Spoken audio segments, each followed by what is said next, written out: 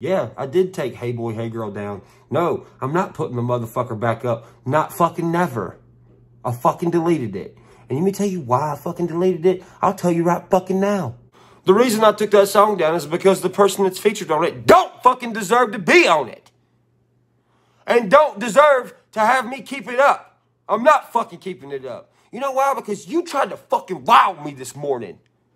And I'm about to tell everybody about it. Me and other person have been dating for two months. She came to me one night when we were riding around in my Mustang, and she told me she was in love with me. Now, me being friends with Katie for so long kind of threw me off, especially with her best friend who's always with her. I thought them two were a thing. Guess they're not. So, Katie tells me she loves me or whatever, and then we get into get into our intimate relationship. It's been like two months. We've had sex multiple times. She's spent the night at my house multiple times. I spent the night at her house multiple times. She's been around my family.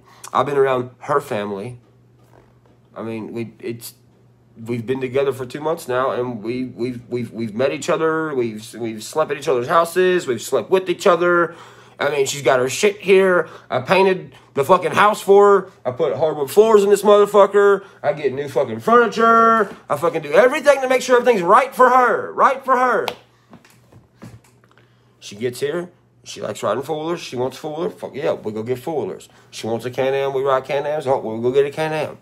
That money shit don't matter, but I'm just telling you how I feel about this girl. Like, how I looked at this girl. I looked at this girl like she was everything, and she just fucking shit on me this morning for no goddamn reason. And I'm fucking mad. And I'm not gonna not say nothing. Because she is trying to say shit about me that is horrible, that never should be said about anybody, that don't actually fucking do what I'm about to tell you.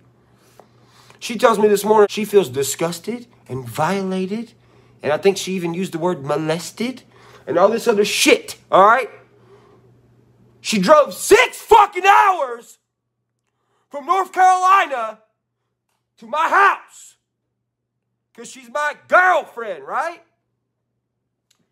Gets here at 4 o'clock in the morning. That's fucking logged with the guard. They have to log everybody that comes in, everybody comes out. She came here like 4 something in the morning. Okay?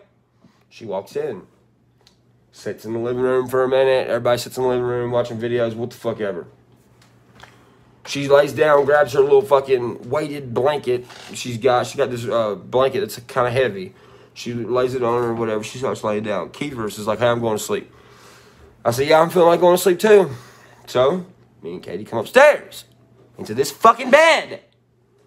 We lay down. I stayed awake to make sure she fucking got here okay. Because she's telling me, oh, I'm shotgunning bangs. Oh, I'm tired, whatever. So I stay awake for her to get here to make sure she gets here okay, right? All right, cool. Well, she gets here. They watch videos and shit downstairs. We're all sitting with each other. Fucking Keevers goes to bed, sleeps in my fucking living room right underneath me. Ripta is right here, right underneath me. Fucking floors are paper thin. You can hear anything in the whole. They can hear me right now yelling in the room.